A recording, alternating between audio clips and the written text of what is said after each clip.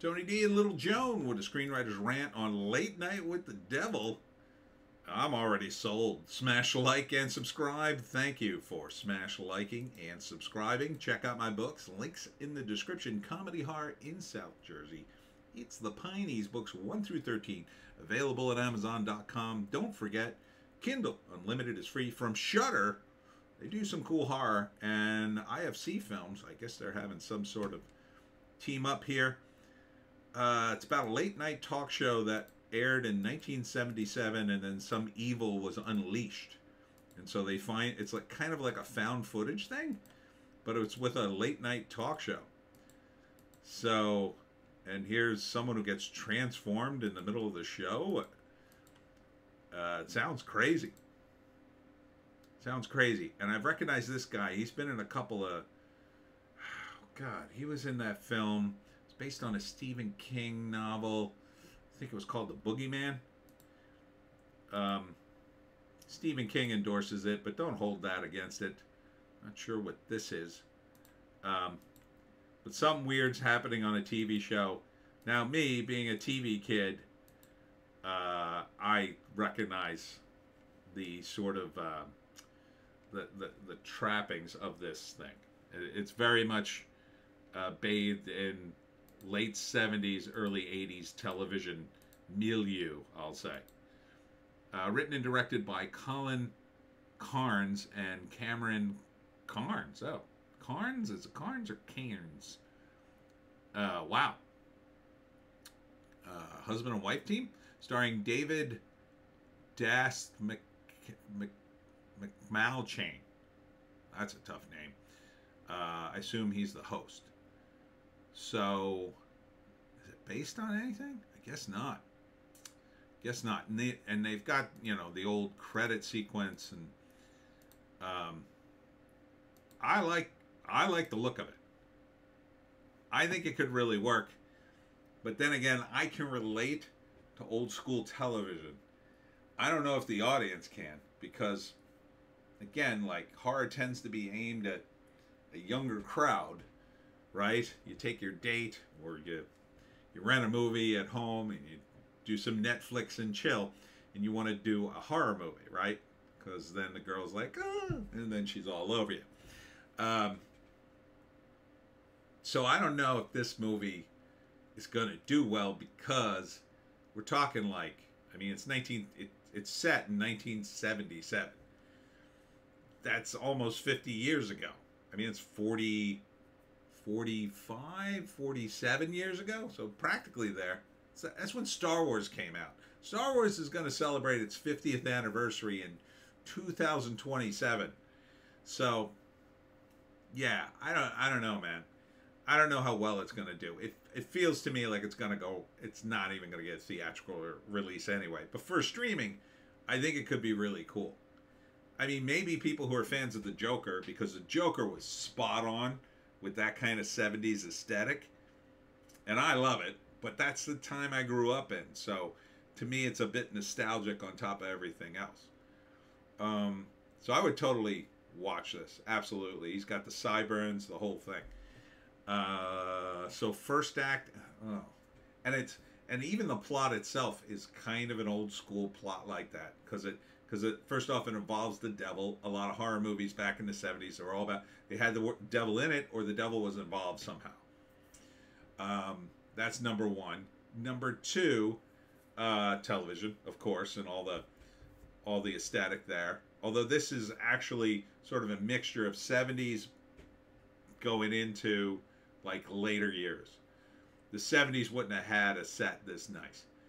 Uh, their sets were a little more cheap but uh, you know, for most audiences, I don't I don't think they're really going to really really you know pick it apart like I am. Um, so yeah, so the first act, it could be kind of the old found footage introduction sort of thing. So it's in the in the present, and they're talking about the past, and maybe they're interviewing some survivors of this horrible incident in the modern day and then the second act they start playing the footage and maybe they stop and start it. So maybe it's like a pseudo documentary, although I'm not seeing any of that in the trailer, so maybe not. Or maybe they just introduce it and just immediately start playing it. I'm not sure how they're going to do the behind the scenes stuff because you know, you're talking about the 70s, the only way there would have been behind the scenes stuff really wasn't like video cameras were these tiny things back in the 70s. They were ginormous. And they wouldn't have had, you know, the footage. They just wouldn't even keep it. The technology just wasn't there to shoot enough footage. Maybe they could work in a scene where it's like, oh, okay, so this this is some behind the scene footage shot by an intern who was using a Super 8 movie camera or something like that. Um, so I, I suspect that they're going to have to put some of that in because even a late night show in the 70s, it would have been about an hour. I mean, the, the Tonight Show was, I think it was, I think it's 90 minutes, right? Or at least it was. Uh, so maybe they'd go the full 90 minutes just using the show, but I think there's going to be some sort of wind up and maybe some some people being interviewed to lend it some sort of credibility. And so I guess they do something on the late night talk show that summons the devil or they interview someone who's possessed or whatever and then it just gets worse and worse and worse. And uh, until finally like everybody in the audience is like dying or killing each other. And i don't know how they're going to end this quite frankly. Maybe it'll be like a wrap up what happened to all the characters and they'll they'll talk to this guy or maybe he'll already be dead or some of the other people. You know again i think they're going to have to have some sort of mock interviews to make this really work. And what's going to be the end? I don't know.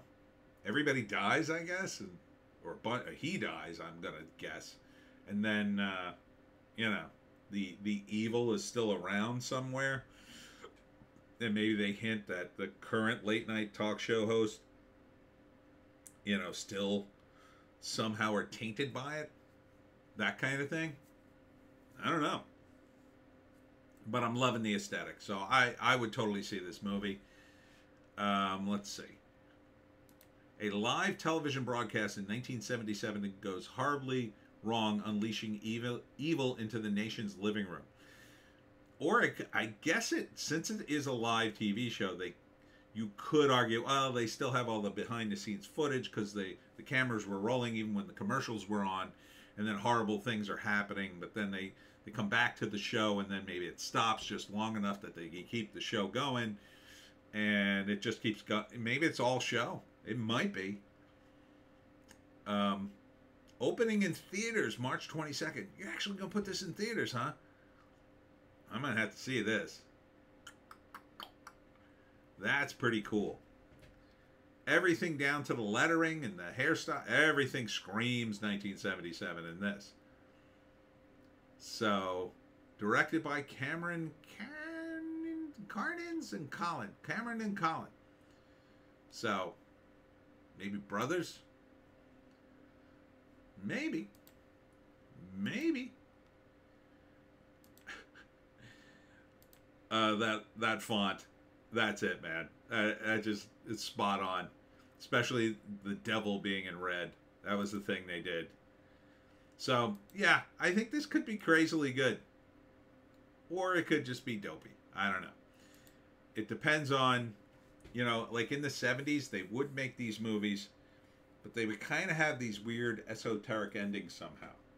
You know, like everybody's dead except the protagonist, and he's lying around, and all these bodies, and he's just breathing heavy, and then the synth synth music starts, and the camera just starts pulling back, and he just sort of gets up and limps out of the room, and that like that's the end of the movie, and the credits are rolling I mean, sometimes movies in the 70s would just end that way. They just ended.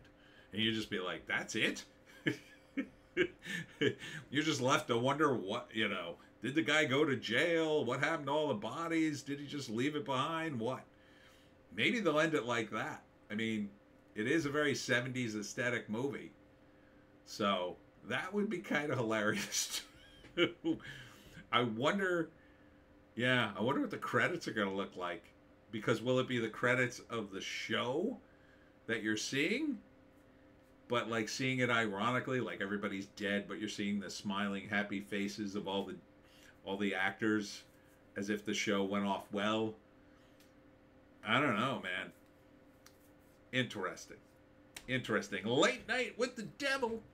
March 22nd. And that's it for me, Tony D and Little Joe. Check us out on Odysee, BitChute, and Rumble for our more base takes. If you can find a more base take, I say, take it. I will be at, speaking of horror, I Heart Horror Convention this Saturday, uh, starting at 11, goes to about 8.30 p.m. So it should be a big day in Sayreville, New Jersey. Then on Sunday, Super Bowl Sunday, I'll be at Valari's for the market from 11 to 2 in Sicklerville, New Jersey. And then on Monday, I'll be at the Newfield Library at 6 p.m. for my talk on how to hunt the Jersey Devil. Hope to see you there. We'll see you